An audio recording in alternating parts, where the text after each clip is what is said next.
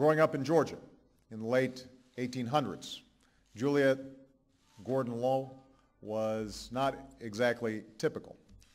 Uh, she flew airplanes, she went swimming, she experimented with electricity for fun, and she recognized early on that in order to keep up with the changing times, women would have to be prepared.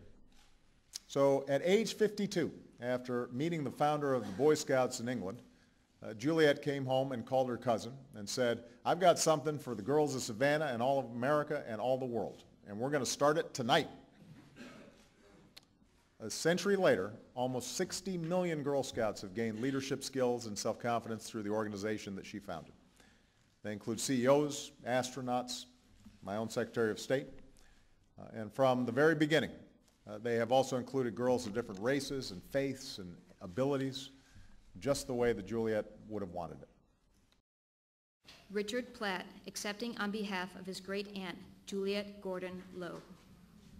An artist, athlete, and trailblazer for America's Daughters, Juliette Gordon Low founded an organization to teach young women self-reliance and resourcefulness.